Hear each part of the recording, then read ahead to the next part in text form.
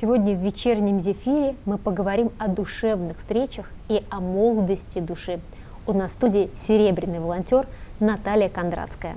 Добрый вечер. Я понимаю, что э, серебряный волонтер это от седины, да, уже э, да. возрастной, но то, что вы делаете, это тянет минимум на золото. Несправедливость Может быть. Да, да. Может быть. Есть в этом. Скажите, пожалуйста, вообще, с чего началась ваша волонтерская работа? Я пришла в 2017 году, увидела объявление о том, что требуются волонтеры в дом для ветеранов. Угу. Концерт. А так как у меня образование, я закончила наш Владимирский учи, училище культуры, я написала, что я могу прочитать любимое мое стихотворение Евтушенко угу. «Сказка о русской игрушке». Угу. Меня записали – у меня был, я должна была ехать к дочке в гости.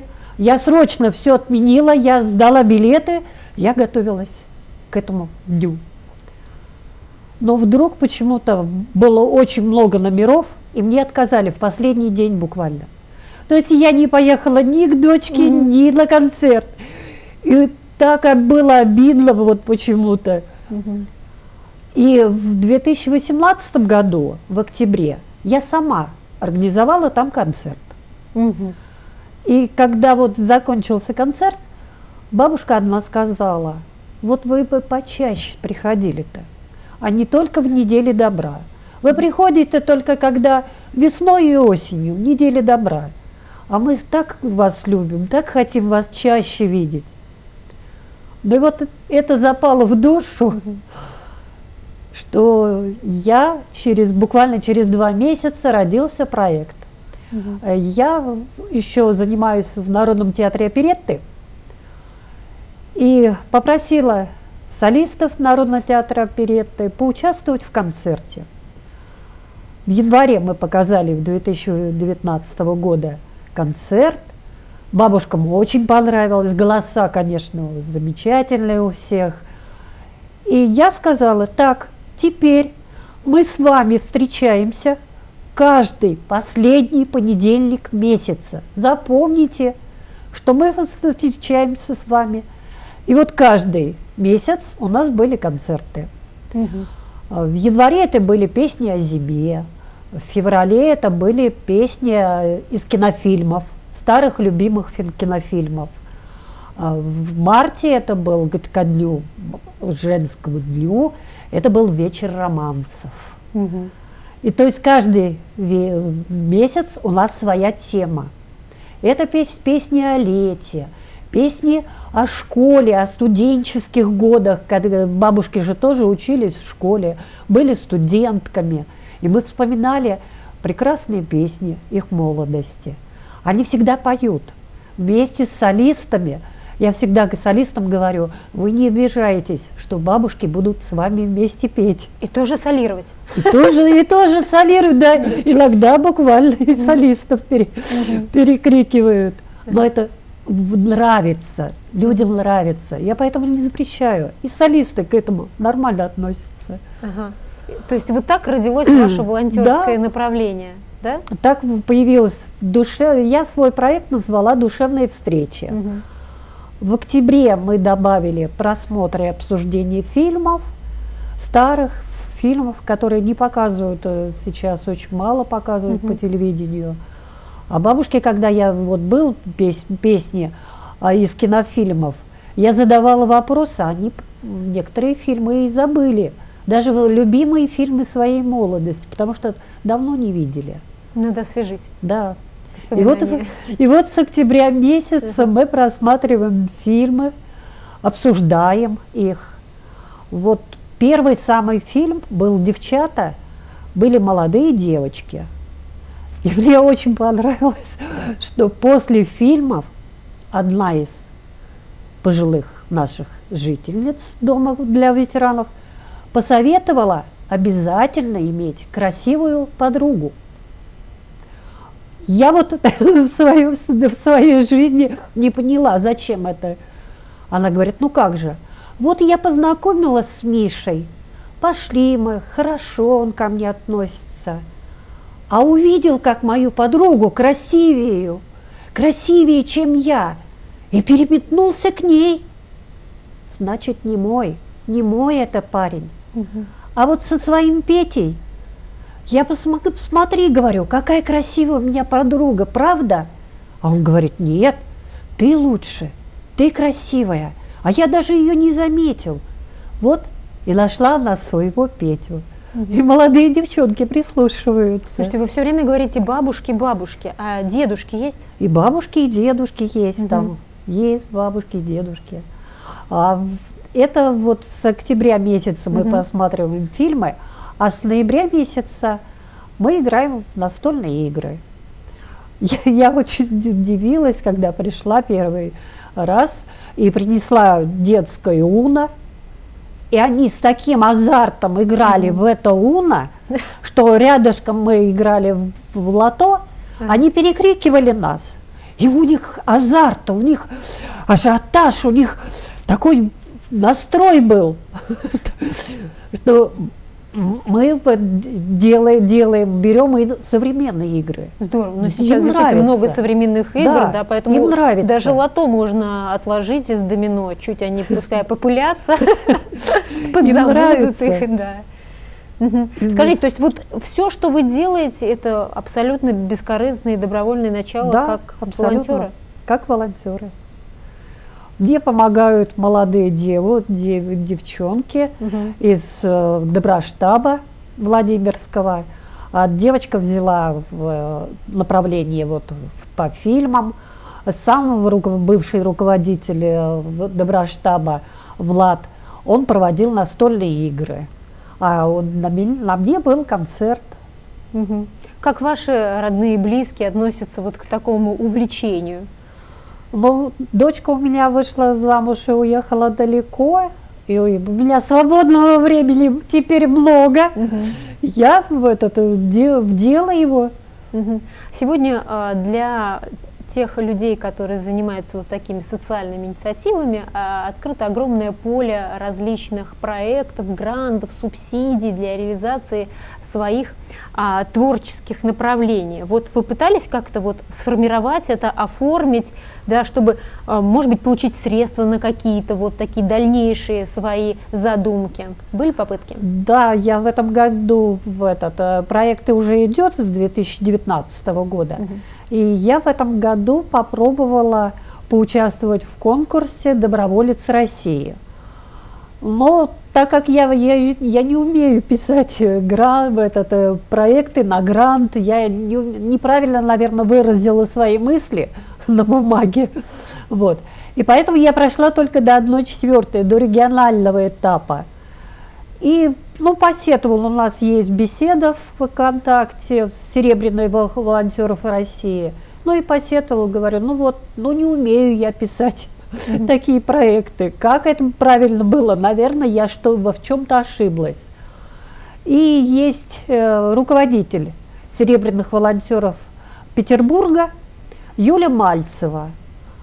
И она нам сказала, давайте я вас буду учить, как писать проекты, как цель ставить, как, какие проблемы выискивать.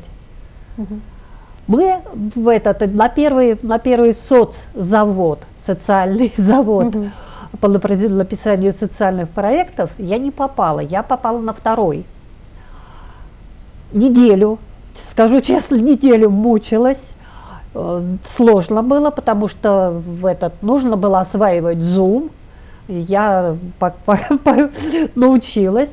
Нужно было осваивать джамборд. А, я даже обращалась к молодежи. Не все, не все молодежь Не вся молодежь знает, да, что, что такое джамборд. Э, мне пришлось это осилить сама, сам, самой лично. Угу. И вот неделя нас обуч, обучали, и я попробовала подать уже э, проект свой, улучшенный, я поняла свои ошибки, которые mm-hmm. я сделала. И на улучшенный проект я подала на конкурс именно вот для серебряных волонтеров России «Молоды душой». Угу. А, на, в этом Что году... конкурс? Расскажите о нем. В этом году на этот конкурс было подано очень много проектов. 2735 проектов социальных. Со всей России? Со всей России, да. Финал, финал вышли только 64. И эти вот 64 человека должны были рассказывать, в чем же уникальность их проекта, почему его нужно финансировать. Ну, тоже была учеба, потому что мы не знаем, я, я также, также сказала, говорю, я защищала на, област, на областном, но я не прошла дальше, может, какие-то ошибки я допустила и в защите проекта своего, который на, на добровольце России был. Вот, нас тоже учили, неделю целую учили, вот, мы защитились пробно сначала в этот перед экспертами, и потом уже 31 августа был, была защита перед всесоюзными экспертами. И вот из 64 грант получили только 25, ну и я в их числе. Что теперь дает этот грант? Э, грант э, да, дает мне, э, ну, когда мы проводили да, викторины, конкурсы перед, перед и мне хотелось поощрить ну, потому что есть, есть активные бабушки, дедушки, угу. которые, которые, которые очень активно в этот рассказывают, и как-то поощрить, ну, сказать спасибо, это, ну, это мало. Я прописала, что будут подарки, когда мы будем проводить э, этот, э, конкурсы, викторины, будут обязательно подарки.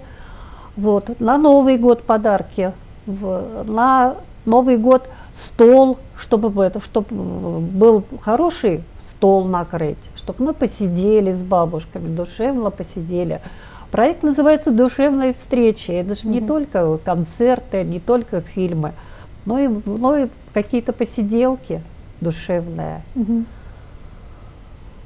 На, у меня, когда мы показываем фильмы, а, были проблемы у одной бабушки, она плохо слышит. А если включать очень громко, то неудобно другим. Угу. И поэтому в, этот, в, в смете я заложила колоночку, чтобы у меня человек, который плохо слышит, он сел около колоночки, ему было слышно в этот, и было комфортно, чтобы другие, другим это не мешало. Угу. Вот. Ноутбук э, старенький в доме, в доме для ветеранов. И однажды что-то что там отсоединилось, в этот, пришло, пришлось нам прервать на, mm-hmm. на часик, девочкам съездить за своим ноутбуком. Mm-hmm. Ну, то есть ноутбук тоже, тоже, тоже, залож, нужен, тоже да. заложен в, про, uh-huh. проекте. Вот. Поэтому все, все уйдет в дело. Ага. Все уйдет в дело. Скажите, вот в каждом таком общественном деле а, понятно, что ты не ждешь никакой там зарплаты, да, каких-то там еще поощрений, но а, такие люди, как вы, от других тоже черпают энергетику, да, опыт или что-то еще. Ну, то есть всегда это такой взаимный процесс обогащения. Вот а, для вас такие душевные встречи, да, что, что вы там а, для себя находите, вот для серебряного волонтера, как вы, да? Но то, что, что ты приходишь и даришь, даришь вот это вот настроение хорошее, оно тебе отдается. Вот когда выходишь и слышишь тысячи спасибо, спасибо, огромное спасибо, на душе очень приятно. Ну и потом эти вечера, эти концерты, вот эти фильмы помогают тоже и бабушкам. Вот однажды у нас на фильм пришла бабушка, сказал, я маленечко посижу, потому что у меня голова болит, и у меня давление. Я, конечно, посади, посадила ее и смотрела за ней, как она себя чувствует. Но был фильм «Легенда номер 17». Вы не представляете, она так болела, так кричала, она даже забыла, что у нее голова болит. А потом говорит, ой, а вроде у меня все нормально. Пошла-ка я пообедаю и пойду гулять. Вот. Все, эмоции, положительные эмоции. Угу. И забыла, забыла про свою болезнь. Угу. А, Наталья, скажите, вот э, что, что могли бы сделать горожане, чтобы, объединившись с вами, ну, сделать жизнь Дома ветеранов еще богаче и ярче? Вот достаточно, чтобы это было не раз в месяц, да, хотя раньше говорили про две недели добра в году, да, а чтобы добрыми стал, ну, практически каждый день. Ну, у нас фильмы показываемые два раза в месяц угу. по субботам две субботы в месяц. Настольные игры два воскресенья в месяц. Так, то есть, отлично, уже четыре дня. То есть, то есть у нас практически суббота-воскресенье у нас заняты. Угу. Вот, раз в месяц у нас концерты. И в планах, я же, я же человек творческий, я закончила колледж культуры наш, и в планах у меня сделать еще два направления. Это литературные вечера и музыкальные гостиные. Угу.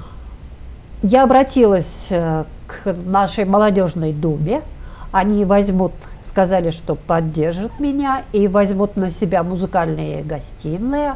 А волонтеры культуры, которые возглавляет Сергей Попов, они вызовут литературные встречи. Так что у меня в этот не, то, не только три направления угу. проект будет развиваться. И поэтому грант – может помочь еще и в, в других направлениях, вот и в этих двух новых. Угу. Я приглашаю всех. У нас э, в оперете есть э, Евгений Костромин. Он выходит, выходит э, в массовках, вых... и я попросил, а можно я приду и буду вести этот концерт? Правда, я, говорит, никогда ведущим не был. Я говорю, ну хорошо, давай попробуем. Если было бы желание, я написала сценарий, мы с Женей немножко порепетировали, и он прекрасно провел концерт. Вот как, раз, как раз мы в дуэте. Да, в дуэте, в дуэте. Главное желание человека провести концерт, рассказать стихотворение, а тем более, если человек может спеть, да это всегда мы мы очень приветствуем. Угу, угу. А, то есть все таланты могут обращаться да, к вам? Конечно, да, конечно. Кто хочет попрактиковаться, кто хочет вот такого душевного отклика, да, да от жителей да, дома да. ветеранов, запросто обращаются к вам. Конечно, конечно. Да? И буквально в следующем месяце они уже в плане, в календарном мероприятии. Да, да, да. Скажите, те, с кем вы работаете, с кем вы встречаетесь, а, насколько сложные судьбы у них?